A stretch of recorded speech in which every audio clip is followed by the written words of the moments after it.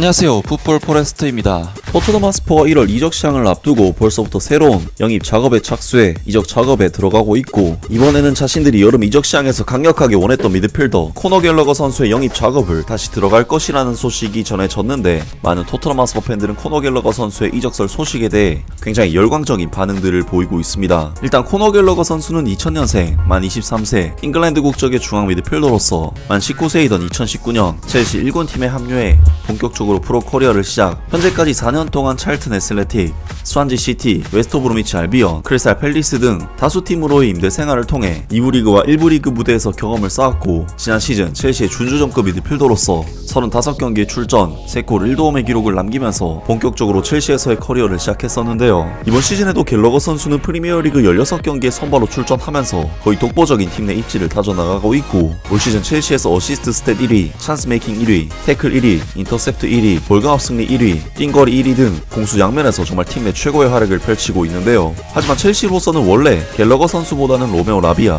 모이세스 카이세도, 레슬리 우고추쿠 같은 젊고 유망한 자원들을 대거 수집했기 때문에 코너 갤러거 선수의 활약이 좋음에도 불구하고 계속해서 이적설이 나오고 있는 상황인데 토크 스포츠에서는 토트넘 하스퍼가 1월 이적 시장에 돌입하면 코너 갤러거 선수를 거액의 이적료를 질러서 데려올 것이라는 소식을 전해왔습니다. 토트넘 하스퍼는 첼시가 1월에 이 미드필더를 현금화하기로 결정한다면 코너 갤러거에게 여전히 관심이 있다고 토크 스포츠는 이해한다. 보도에 따르면 블루스는 공격을 강화하기 위해 자금을 조달하려고 하기 때문에 이적 시장이 다시 열리면 코너 갤러거가 적절한 제안을 받기 위해 팀을 떠날 수 있다고 한다. 코너 갤러거는 클럽 주장 리스 제임스의 부재로 인해 이번 시즌에 때때로 주장 완장을 착용했다. 모이세스 카이세도와 로메오 라비아의 거의 거래는 코너 갤러거의 소년 시절 클럽인 첼시에서의 시간에 종말을 의미하는 것처럼 보였지만 하지만 이 두 선수 모두의 부상은 코너 갤러거가 경기 시간을 얻었을 뿐만 아니라 팀의 캡틴이 되었다는 것을 의미했다. 그는 이번 시즌 마우리쇼 포체티노 감독의 팀에서 인상적인 활약을 펼쳤고 심지어 10월에는 첼시가 이 23세 선수와 재계약을 위한 협상을 시작할 것으로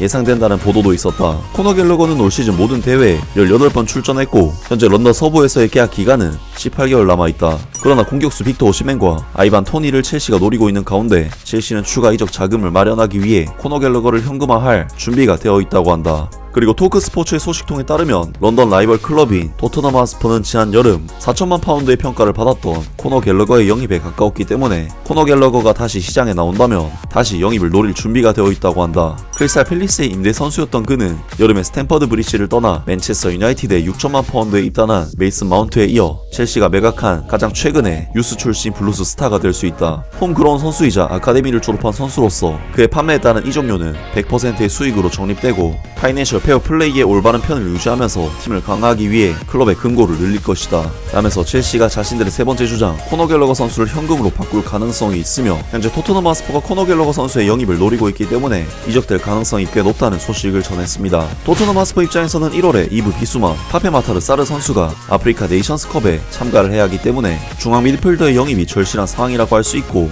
비수마 선수가 징계로 빠지고 파페마타르 사르 선수가 부상으로 빠졌을 때 이들을 대신해서 나온 호이비에르 선수의 경기력이 역시나 굉장히 안 좋았었던 데다 그나마 경기력이 좋았던 로드리고 벤탄쿠르 선수의 경우 또다시 부상을 당해버렸기 때문에 공격적인 성향을 지닌 미드필더 코너 갤러거 선수의 영입은 토트넘에게는 굉장히 적절한 영입이 되지 않을까 싶은데요.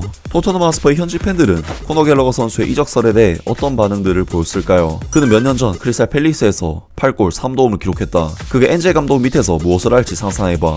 그를 데려와 엔제가 그를 혁명적으로 만들 것이다. 엔제 감독이 그를 원한다면 딜을 끝내 그는 스쿼드에 잘 적응할 것이다. 등등 많은 토트넘 하스퍼 팬들이 공격적인 성향을 가진 미드필더 코너 갤러거 선수가 포스테코글 감독 밑에서 굉장히 잘 해낼 것으로 평가했습니다. 토트넘으로서는 1월 초부터 손흥민, 이브 비수마, 파페마트르 사르 선수가 빠져야 하기 때문에 빠르게 전력 보강을 하는 것이 중요할 것 같은데요. 가격 흥정보다는 발빠른 영입 작업이 굉장히 중요한 시점이라고 할 수 있는데 토트넘 하스퍼가 과연 어떤 선수를 영입하게 될지 새로운 소식이 나온다면 바로 전해드리도록 하겠습니다.